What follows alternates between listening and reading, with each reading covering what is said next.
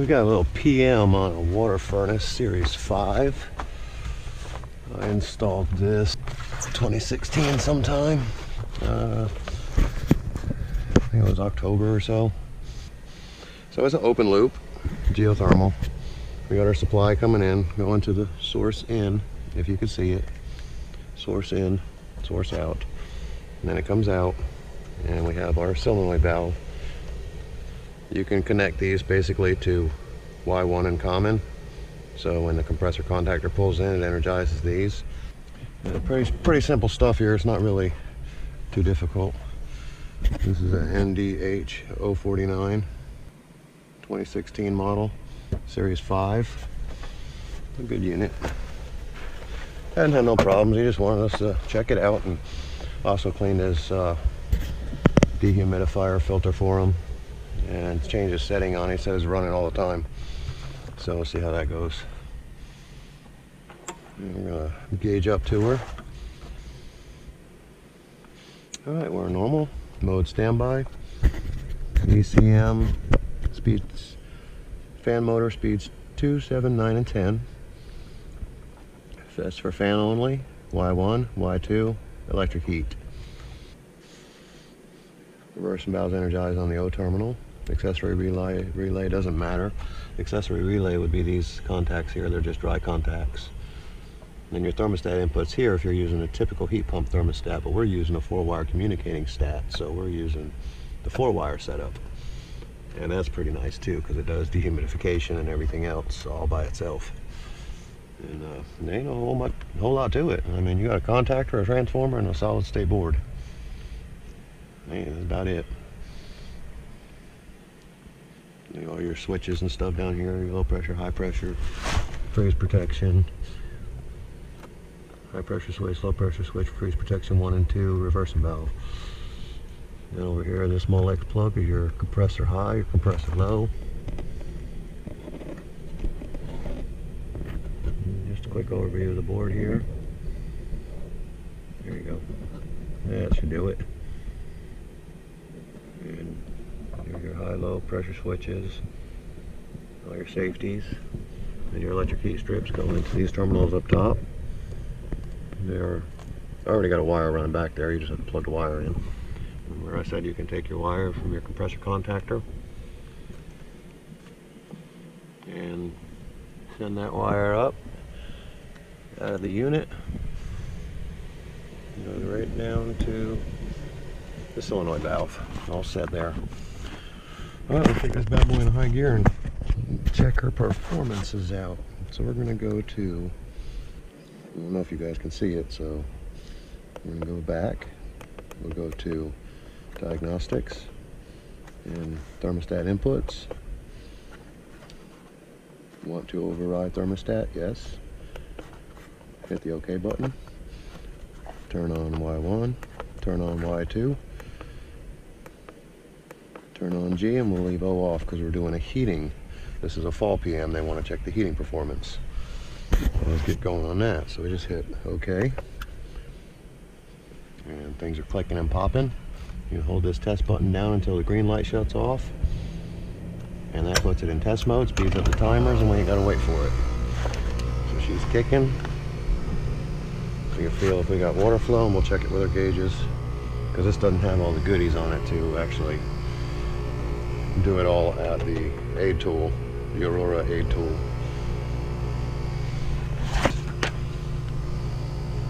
So we'll get our water pressure drop real quick. We'll let it run a few minutes before we get temperatures. So we want to get our water in, water out. If you can see it, brine in, brine out. To get our pressure drop, we're going to consult a manual that I have on my phone, an app. You know they have an app for that. Yeah, it looks like we got 16 psi going in. Should be less going out. Pressure drop. 13. 13, 16.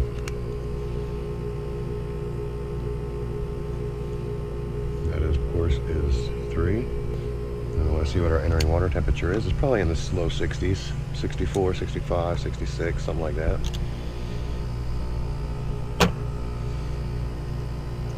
That's going to be just about the same because it is an open loop. So it's coming directly out of the ground and just dumping it back into the, the stream, the creek bed down there, a few hundred foot down down the hill, 65 degrees. Now we're letting it run, so we're gonna go ahead and get our model and serial number. All right, we got all that information. 65 entering water. It's always a good idea to keep you a little bit of petroleum jelly on the job, not just for your skin, but to lube your devices. And it helps them slip in and out and makes them last longer. A good geothermal trick. I've destroyed a few probes pulling the handles out right there and another one taped up in the bag that's all messed up. 55. 10 degrees. So, go to our trusty old little phone app here and we got an NDH 049. Uh, go ahead and put that snapshot in. All right, high speed, that's what we're looking for. High speed, heating. We go to our 60, what is it, 65 degrees, 65, 70. We had a three pound drop, that's 12 GPM. I call it 11 GPM. So we're looking for heat of rejection, heat of extraction, I'm sorry, right there. Bring that down. We should be somewhere around 36 to 40,000 BTUs. So we'll do the math real quick. I'm gonna call that 10 GPM times 500 times 10. What's that, 04? That's 50,000. 55,000 BTUs and she was only needing to do 40. So that could be just a miscalculation on the uh, water pressure drop side. That's closer to 15 on this, and then out would be, so that's more like a two and a half pound drop.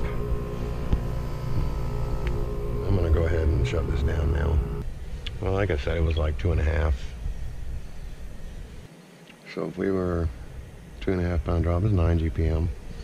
More like 15, so that's two pound drop. So 9 times 500 times 10. 45,000 BTUs. And the book was saying between 40 and 36. It's good. So that's, I mean, that's basically a PM for a uh, geothermal unit. You ain't got to do a whole lot. It even tells you, do not hook up pressure gauges unless there appears to be a performance problem. I mean, yeah, I mean, you can take a temperature drop. It's about usually 30, 30 degrees or so. That's why I know that them think these things heat up good. I'm not going to show you this time because I don't want to burn them folks up inside. I'll show you that on another video. Make sure these are on. They're very important for a closed loop anyway. An open loop not so bad but you want to make sure you got your little rubbers little rubbers you want to make sure they're in there because on an open loop those things will leak. And they will drip and drip and you'll be back in four to six months juicing the loop up with the old uh, juicer there which is just a ball valve little nipple little couple fittings you pick up at Lowe's and you build it yourself. Probably about $32 in parts here. All right, let's get this thing unplugged.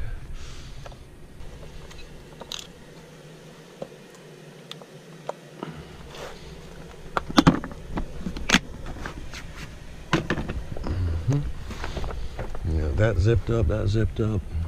Capacitor is brand new. I mean, I'm not, there's not a whole lot I'm going to do with this. You know what I mean? I'm to open it up and just show you guys the inside here. When you're opening it up though, the door swings, so you want to make sure you don't hit none of your wires over here and cut them and electrocute yourself because this does have live power on it. They recommend turn it off when you're doing stuff like this, but sometimes you got to have it running to hook your gauges up. Comes with a shipping bolt right there a shipping bolt that you want to take out from that hole. And freeze the compressor up so it's not noisy. You got your coax coil in the back, your expansion valve right there, your filter dryer right there, reversing valve, muffler, the muffer's not rubbing the wires any. Look good. Or uh, gray and white and black and white jumpers you take off when you install a heat strip. Because once you install a heat strip, the transformer gets its power from the heat strip side of the circuit. And uh, yeah, there ain't much to it. You got a coax coil and then an evaporator coil on the other side. There's very little to these units, but they're amazing pieces of equipment. All right, on with the work. Way we can expect inspect his coil over there. We'll see about getting that done. Which I know on a unit less than a year old, there's probably not very much much wrong with it.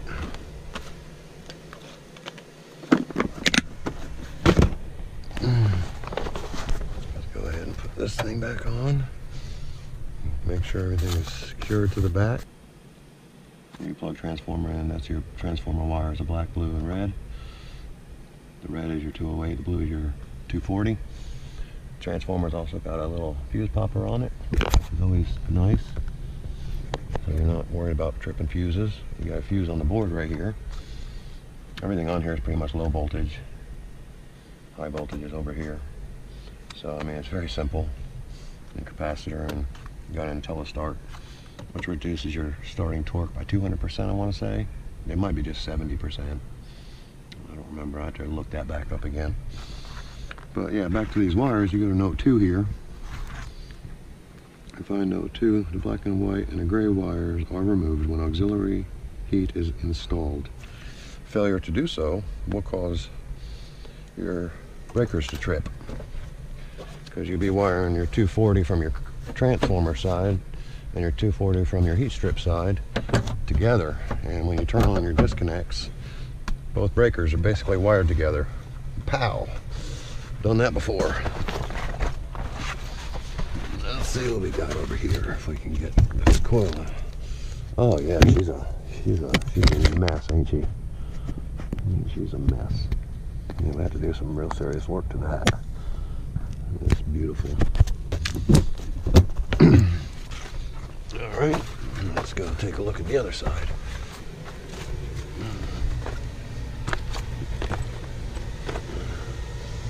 Uh, look like we got a leaker over there on a humidifier. We have to try and do something about that too. He used to have a Florida heat pump split unit in here.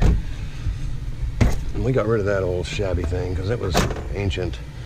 Oh yeah, I mean there's a whole lot to do on a PM with these units. There's your coil inside. I don't think I've ever showed you these yet. There's not a whole lot to them. Just make sure your manifold over there isn't got any of the coppers rubbing together. Should be good to go. Pan strip, we replace that in the summer.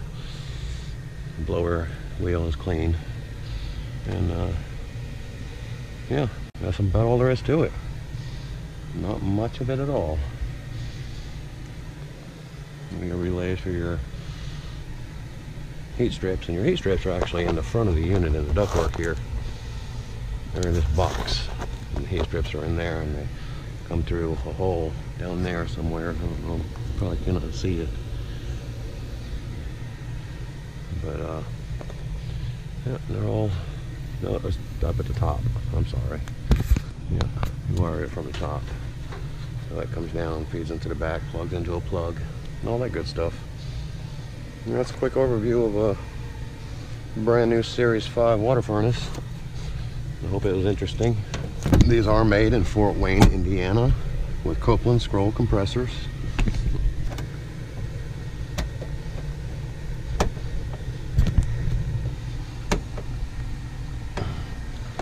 All right, and yeah, like I said, a winter PM on a water furnace. Uh, you make sure she's got the expected heat of extraction, interpolating it the best way you can to make sure there's no performance problems. We're gonna run back here and do something with this dehumidifier.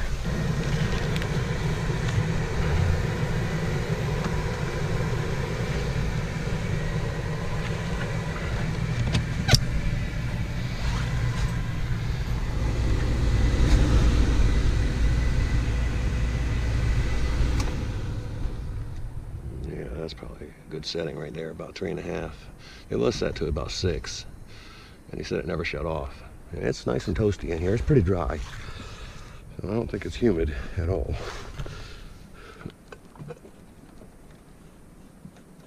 Put our little leveler on it. This backside needed to come up a little. And condensate pump seems to work. I like I like that clear design. That's that's nice. All right, and that's it.